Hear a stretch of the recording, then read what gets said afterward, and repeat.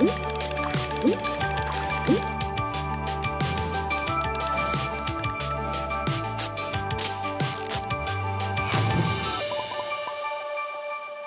Klaudia Szóstek, witam Państwa. Zapraszam na szczegóły prognozy pogody.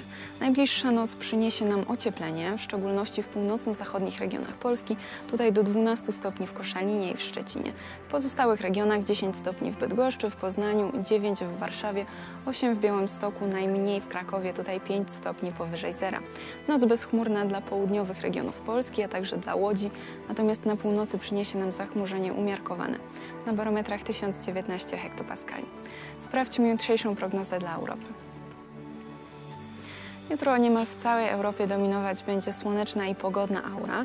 Strefa opadów e, obejmie obszary jedynie Berna, Paryża, Wysp Brytyjskich, a także Skandynawii.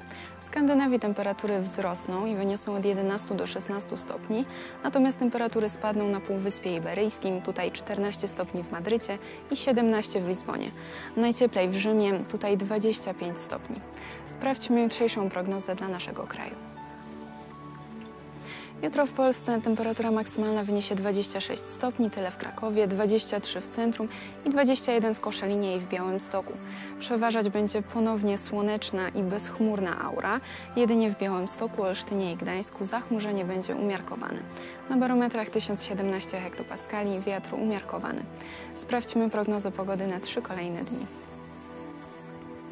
Wtorek ponownie ciepły i pogodny, na termometrach nawet do 27 stopni na południowym zachodzie. W środę burze lokalnie pojawią się na zachodnich krańcach Polski, na termometrach od 19 do 24 stopni.